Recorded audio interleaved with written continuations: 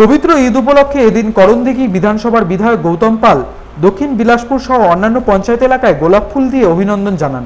পাশাপাশি জলের বোতল সহ মিষ্টি মুখ করান ও আলিঙ্গনের মধ্য দিয়ে শুভেচ্ছা বার্তা দেন। সাম্প্রদায়িক সম্প্রীতির মেলবন্ধন বাড়াতেই আজকের এই কর্মসূচি পালন করা হয় জানান বিধায়ক।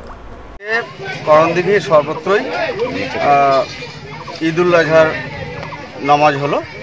আমরা সকালবেলা এসে তাদের সঙ্গে সৌজন্য বিনিময় করেছি মুখ বৃষ্টি করেছি জল খাইয়েছি এবং আলিঙ্গন করেছি।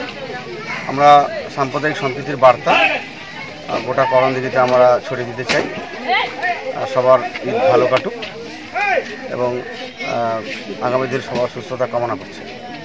কীরকম লাগছে এখানে এসে? খুব ভালো লাগছে মানুষের সঙ্গে সৌজন্য বিনিময় করলাম খুব ভালো লাগছে মানুষ খুব শান্তিতে তাদের যে রীতি রেওয়াজ সেটা পালন করেছে খুব ভালো লাগছে।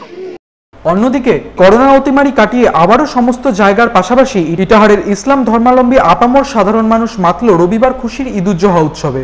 এদিন উত্তর দিনাজপুর জেলার ইটাহার ব্লকের বিভিন্ন ঈদগাহ প্রাঙ্গণে দেখা যায় সকাল থেকে নামাজ পাঠের হিরিক। ইটাহার সদর পাওয়ার হাউস মোড়ের ঈদগাহ মাঠের পাশাপাশি জয়হাট, সুরুন, কাপাসিয়া, গুলন্দর সহ বিভিন্ন অঞ্চলের ঈদগাহ প্রাঙ্গণে আট থেকে আশি সকল বয়সের মুসলিম ধর্মের সাধারণ মানুষ আনন্দের সঙ্গে ইসলামিক রীতি মেনে নামাজ পাঠ করতে আসতে দেখা যায়। এদিন ইটাহারের বিধায়ক মোসাফ হোসেন সহ ব্লক তৃণমূল নেতা মোজাফর হোসেন গোপালনগর গ্রামের ঈদগাহ মাঠে নামাজ পাঠ করেন। কোন রকম অপ্রীতিকর ঘটনা এড়াতে ইটাহার ব্লকের বিভিন্ন ঈদগাহ প্রাঙ্গণে কড়া পুলিশি নিরাপত্তার ব্যবস্থা করা হয় ইটাহার থানার পুলিশ প্রশাসনের তরফে।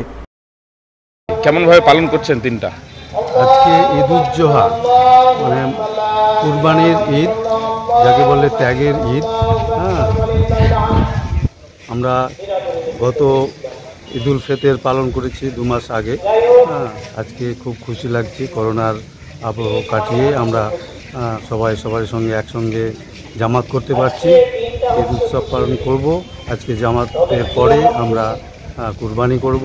হ্যাঁ পশু কুরবানি আমাদের নিয়ম আছে। এইভাবে আমরা আজকে ঈদ উৎসব পালন করব। আগে আমরা, আজকে এসেছি আমরা এখানে আমাদের জামাতে। নামাজ পড়ার জন্য ঈদের নামাজ। তো থাকছে খুব ভালো লাগছে। অনেকদিন পরে আমরা সবাই একত্রে নামাজ পড়তে পারছি বলে আমরা খুব খুশি। পাশাপাশি পালিত হচ্ছে ঈদ উজ্জোহা আজ খুশির ঈদ। সেই উপলক্ষে ইসলামপুর মেলামাঠ ঈদগাহতে নামাজ পাঠ করা হয় এবং মুসলিম ধর্মাবলম্বী মানুষেরা আজ নামাজ পাঠ করেন। সকাল সকালই আজকের এই ঈদের নামাজ অনুষ্ঠিত হয়।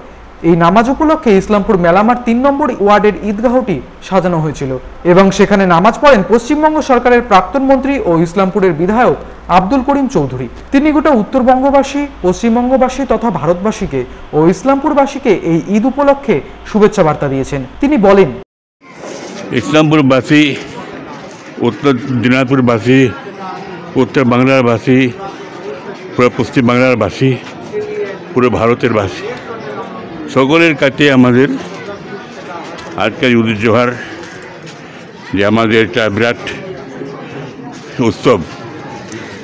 সেই উৎসব পালন আমরা করেছি। ঈদগাতে নামাজ পড়েছি।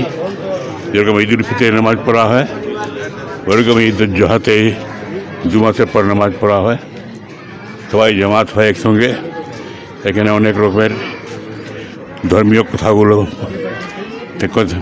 ওয়াজ করা নসিহত করা হয় ভালোভাবে থাকার জন্যে, শান্তিভাবে থাকানা থাকার জন্যে, অমন ও শান্তি কায়েম রাখার জন্যে।